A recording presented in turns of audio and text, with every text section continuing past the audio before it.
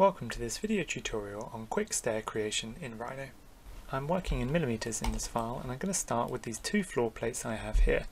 I'm going to select my polyline tool and just draw a line from the bottom of the first floor plate to the top of the second one, like so.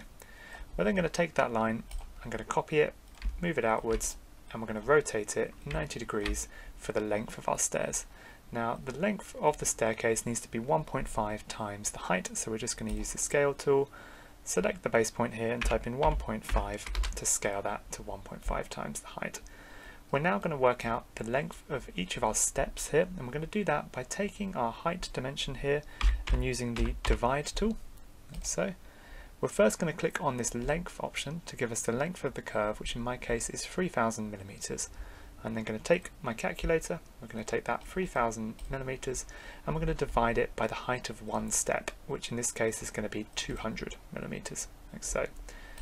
This will give me the number of steps I need, and if your kind of number isn't an exact number like this, just round it up or down to give you that division number. With that number 15, I'm then going to kind of take my line, use the divide tool again, and we're going to divide it by 15 in this case. I'm then going to select the other line and we'll do the same division here 15 as well to give us the width of each step. Now I'm going to take my box tool and I'm going to use the three point box here. We're going to use this tool to create the kind of depth of each step. We're going to give it the height based on these points I've made and then we're going to give it a length which I'm going to do around 2000 meters or millimeters here. Now we've got our step, before we copy this up, we're going to turn this into a block, and this will allow us to edit the steps later. I'm just going to choose the first point there, and I'm just going to call this step 01 in this case. Once we've made our uh, first step, we're then going to draw a diagonal line from the bottom of our steps to the very top, like so. I'm going to use the array curve tool here to select my step, enter, select my curve like so and then we're going to array this by 16 which is one more than the divisions we have to properly array this step along the curve. Once we hit enter we then have our steps all the way to the top and you can delete that top step there which now gives us our 15 equal steps.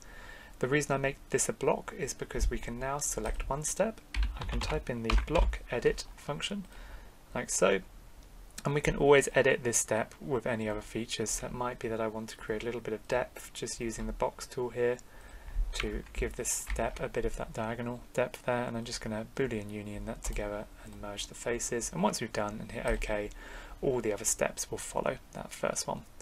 Now just to finish we're going to just select all of our steps here and we're going to group these together just using the group command and then I'm going to make a box from the top corner to the bottom corner of these steps and we'll make it quite deep. And this way we can select our steps, we can select our box, we can move it into whatever position we want on our floor and then use the boolean difference tool to subtract the box from this shape to give us our opening in our floor plate for our steps. So that was a very quick video tutorial on step creation in Rhino.